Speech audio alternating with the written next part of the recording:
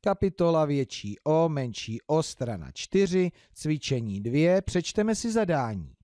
Jakým způsobem vypočítáme příklad? Správnou možnost označte křížkem. No, pustíme se do práce, musíme si ale nejdříve přečíst tady ten výrok, tuhle otázku.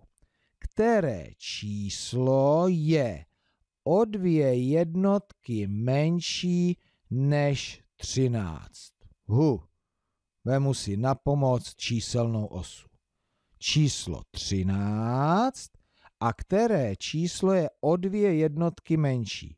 Když má být něco menší, tak půjdu doleva, budu ubírat o jednu jednotku, o dvě jednotky. Je to číslo 11. Jak jsem se k němu dostal? Ubíral jsem, čili když ubírám, tak mínus a ubral jsem dvě jednotky. Mínus dvě, čili příklad 13 minus 2 nám odhalí číslo, které je o dvě jednotky menší než 13. Je to 11. Podíváme se, takže 13 minus 2 vybírám křížkem. Druhý výrok, druhá otázka.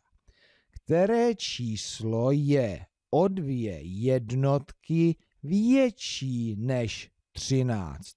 Vrátíme se na číselnou osu, vezmeme si jinou pastelku, 13 tady máme, ještě takhle, ale větší, to znamená, že musí mít doprava, přidávat o jednu jednotku více, o druhou jednotku více. Dostal jsem se na číslo 15. Jak to mohu vypočítat?